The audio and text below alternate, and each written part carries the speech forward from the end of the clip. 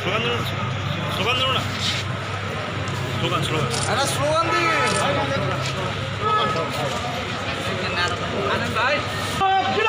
জিন্দাবাদ জিন্দাবাদ জিন্দাবাদ জিন্দাবাদ हुनै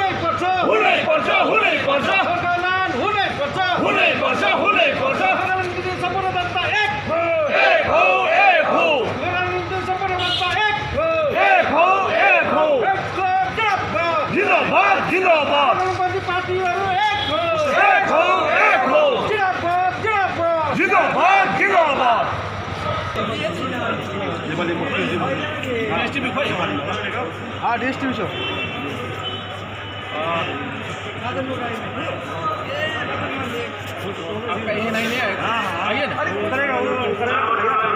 करो करो करो राष्ट्रिय नेता वर्गीय वर्गीय चाहिँ ए अँ कैलाश विजय वर्गीय। हाम्रो हाम्रो नेतासँग बसेका छौँ। उहाँ सबसे हामीसँग हुनुहुन्थ्यो।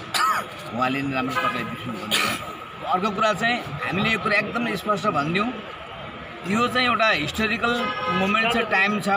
त्यो किन भने अहिले चाहिँ लोकसभामा संसदमा बिजेपीको दुईटाइ मत छ। यो सधैँ हुँदैन। हामीले यो त उनीहरू एकदम जब हामी उसँग बात माऱ्यौँ एमओएससँग राज्य मन्त्रीसँग। नाम के अरे? जी किसन रेड्डी। जी किसन रेड्डीसँग।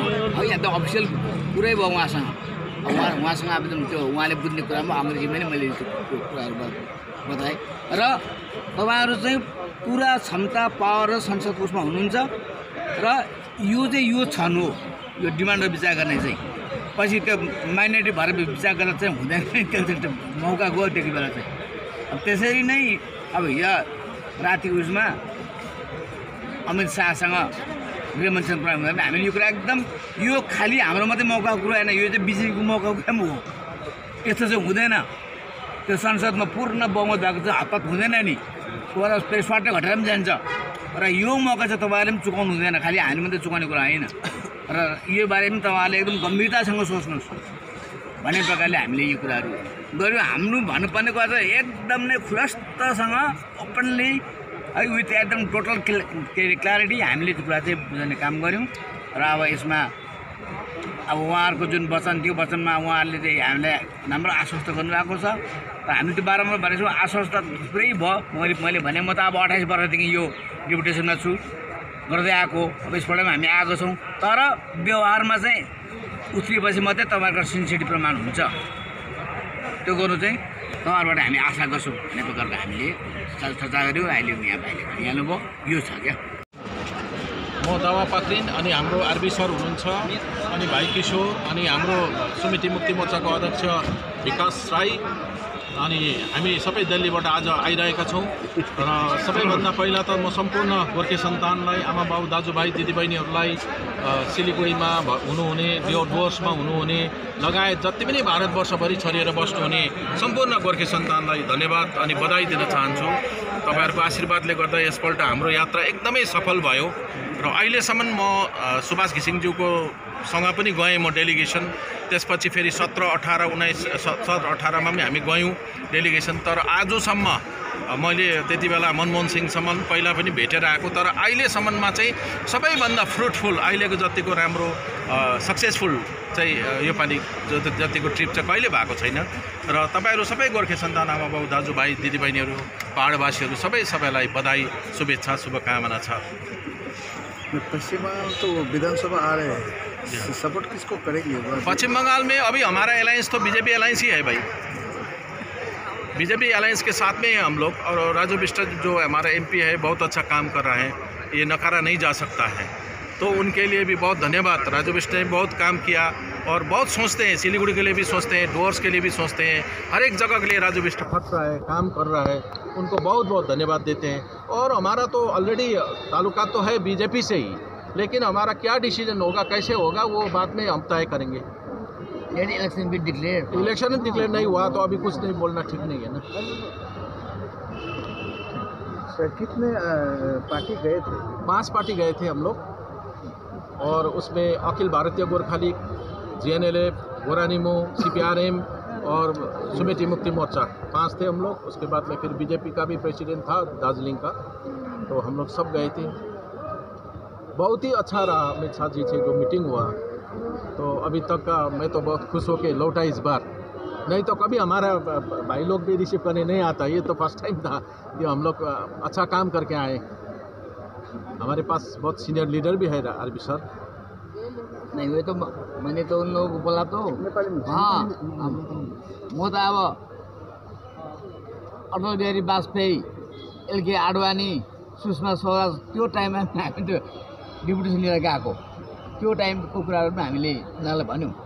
यो डिमान्ड चाहिँ अलग राज्यको डिमान्ड चाहिँ यति यति पुरानो कुरा हो। अनि यसपल्टको कुरा चाहिँ यो हामीले गरेको होइन यो चाहिँ इलेक्सनको टाइममा तपाईँहरूको कमिटमेन्ट हो। तपाईँहरूको बिजेपीले आफ्नो मेनिफेस्टोमा यो दुईवटा डिमान्ड अलग राज्य उनीहरूले अब यसलाई पिपिएस भनेको छ पर्मानेन्ट पोलिटिकल सि सल्युसन सल्युसन भनेर अर्को अब एघार जातको यिनीहरूको ट्राइबल अब है त्यो त्यो कुरा। यो चाहिँ हामीले भन्यो यो चाहिँ तपाईँले राख्नु भएको। र तपाईँले तपाईँहरूको कमिटमेन्ट पुरा गर्नुहुन्छ हुँदैन भने त्यो सम्झाउनु मात्रै हामी आएको। भन्दाखेरि उहाँले होइन वी आर फुल्ली कमिटेड र यो काम चाहिँ हामी एकदमै गर्छौँ। अब आजको भोलि नै अब हुन्छ हुँदैन त्यो अर्को कुरा हो। तर यसको जुन कतिवटा प्रोसिड्युरल डिफिकल्टिजहरू छ कम्प्लिकेसनहरू छ संवैधानिक कुराहरू छ नियम कानुनहरू छ त्यो बारे हामीहरू खुटिनाटी केलाएर यो चाहिँ हामीहरू एकदम समयमा यो काम चाहिँ हामी गर्छौँ। भन्ने प्रकारले नै हामीले सम्झ्यौँ। यो चाहिँ एकदमै एउटा पोजिटिभ दृष्टिकोण हो। त्यसरी नै अब उहाँले अब गृहमन्त्रीले भन्नुभयो गोर्खा जातिको कुरा गर्नुभयो उहाँले। गोर्खा जातिको वीरता गोर्खा जातिको देशभक्तिप्रति हामी हामी हो हामीहरू कायल छौँ र उनीहरूको लागि हामीहरू निश्चय गर्छौँ भन्ने जुन उहाँहरूको आश्वासन हो। त्यसले चाहिँ हामीहरू सन्तुष्ट र अघि उहाँले भनिहाल्नु यसपल्ट चाहिँ एकदम तिनवटा कुरा। एउटा कुरा चाहिँ हो यसरी मिलेर कहिले जानु सकेन। यसपल्ट पार्टीहरू एकता। अँ एउटा युनाइटेड डेपुटेसन अर्को एउटा युनिफाइड डिमान्ड। युनिफाइड डिमान्ड यो अर्थमा के किनभने यहाँनिर अब हाम्रो कसैले गोर्खाल्यान्ड कसैले जिटिए कसैले छैटौँ अनुसूची भन् भन्थ्यो।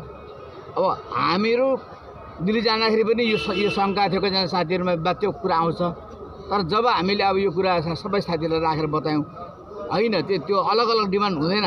एउटा मात्रै डिमान्ड राख्नुपर्छ भनेपछि सब साथीहरू सहमति भएर हामीले सबको एक स्वरमा पाँचै पार्टीको एक स्वरमा पिपिएस अथवा अलग राज्य।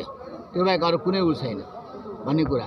अनि जो हाम्रो मुभमेन्टको आन्दोलनको जुन हाम्रो तौर तरिका छ त्यो डेमोक्रेटिक पिसफुल नन कम्युनल अनि यसमा मेन कुरा जो हाम्रो एमपी राजु विष्ट र उनको पार्टी बिजेपी बिजेपीको शीर्षस्थ नेताहरूको जुन उनीहरूको प्रतिबद्धता कमिटमेन्ट र पास्ट रेकर्ड उनीहरूले तिनवटा स्थिति दिइसकेको छ।